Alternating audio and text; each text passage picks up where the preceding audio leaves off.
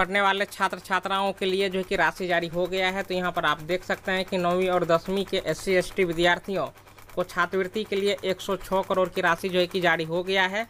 और यहाँ पर आप देख सकते हैं 2022-23 में राजकीय स्कीम के तहत एस सी नौवीं और दसवीं कक्षा के विद्यार्थियों को छात्रवृत्ति देने के लिए शिक्षा विभाग ने 106 करोड़ 16 लाख और दस हज़ार की राशि जारी की है। 2022-23 में महादलित दलित एवं अल्पसंख्यक अति पिछड़ा वर्ग।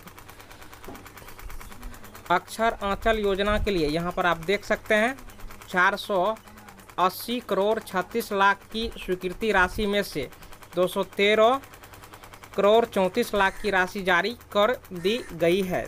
तो यहाँ पर आप देख सकते हैं कि राशि जो है कि जारी हो गया है। अब सभी छात्र छात्राओं के अकाउंट में जो है कि भेज दिए जाएँगे।